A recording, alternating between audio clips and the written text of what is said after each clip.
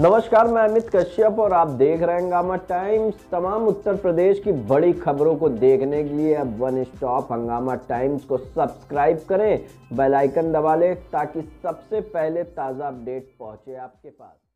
उत्तर प्रदेश के फ़तेहपुर ज़िले में अल्लाह के रसूल नूर मोहम्मदी मुस्तफ़ा सल्लल्लाहु अलैहि वसल्लम की योम विलादत मनाई गई। वैसे तो इस मौके पर पूरे जहान में खुशियाँ मनाई जा रही हैं, क्योंकि अमाद रसूल की खुशी मनाने का अपना अपना तरीका है। कोई कुरान खानी करता है तो कोई ईद मिलानुद्दीन।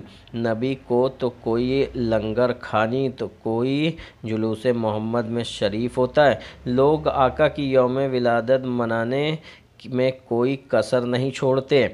इस ज़िले में भी योम विलादत के मौके पर मुसलमानों ने चश्म चिरागा कर रसूल की खिदमत में नजरान हकीकत पेश करते हुए बाद नमाज़ फ़ज्र सभी मुसलमा एकजुट होकर नूर मोहम्मदी का जुलूस बहुत ही हकीकत के साथ लेकर ना तो खानी करते हुए निकलते हैं।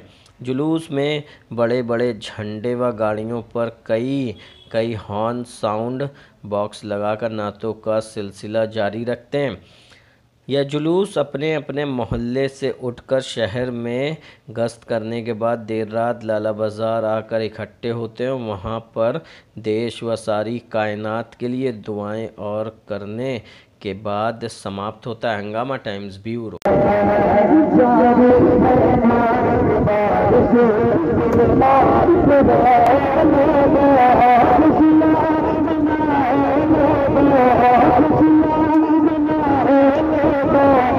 आज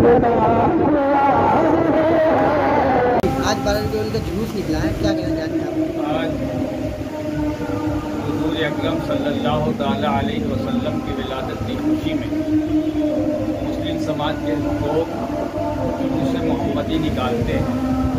और प्यारे आका सल्लल्लाहु अलैहि वसल्लम ने जो पैगाम दिया है, आपसी इत्तेहाद का, भाईचारे का वो लोगों तक पहुँचाने का काम करते हैं। क्योंकि मेरे आका सल्लल्लाहु अलैहि वसल्लम की मुकम्मल ज़िंदगी का अगर मुताल करेंगे तो मेरे आका सल्लल्लाहु अलैहि वसल्लम ने अपनी ज़िंदगी में न किसी को डांटा, न किसी को मारा, न किसी को तकलीफ़ पहुंचाई, बल्कि मेरे आका सल्लल्लाहु अलैहि वसल्लम ने गरीब, बेसहारा अनाथ बेवाओं की दिल खोल करके बग़ैर भेदभाव के गले से लगाया है। लिहाजा मुस्लिम समाज के लोग इस जुलूस मोहम्मदी को प्यारे आका सल्लल्लाहु ताला अलैहि वसल्लम की मोहब्बत में निकालते हैं। लिहाजा मैं मुस्लिम समाज के लोग से अपील करूँगा कि प्यारे आका सल्लल्लाहु ताला अलैहि वसल्लम की तामीलात तालीमात पर अमल करते हुए ज़िंदगी गुजारें।